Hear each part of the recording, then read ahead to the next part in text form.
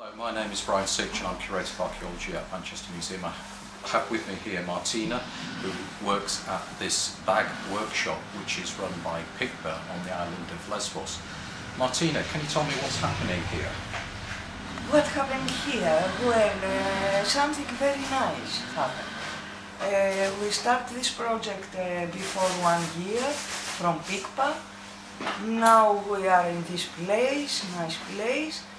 Uh, we take used uh, life jackets and uh, we transform them uh, to bags.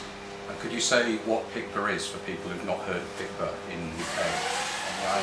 Pikpa, uh, it's uh, an open cab.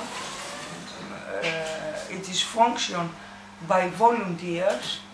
It started uh, about uh, before uh, four years.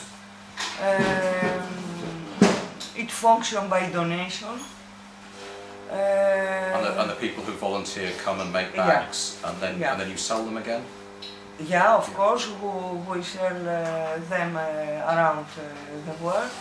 Uh, so uh, everyone that uh, works in this workshop be paid Uh, the local Asmi and Sofia and uh, the, the refugees. And I hope everything is going well. Well, we, we will keep our fingers crossed for you and wish you, we wish you every success in the future, Martina. Thank you for speaking to us today.